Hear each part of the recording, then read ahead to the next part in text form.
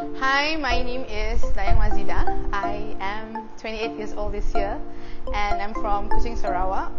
Uh, right now I'm working as an assistant store manager with Uniqlo.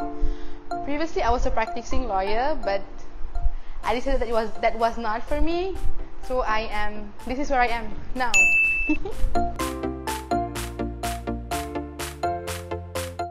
well, I think the, the first and foremost is definitely because I wasn't happy with my previous job.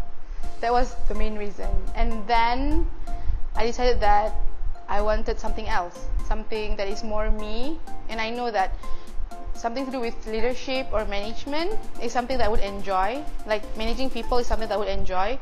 So it wasn't an easy decision, but I was very, very unhappy at the moment when I was practicing. So at one point I was like, you know what, let's just do something else and try something else and see how it goes. So I'm pretty, pretty happy that I took that leap of faith and actually give it a go. Yeah.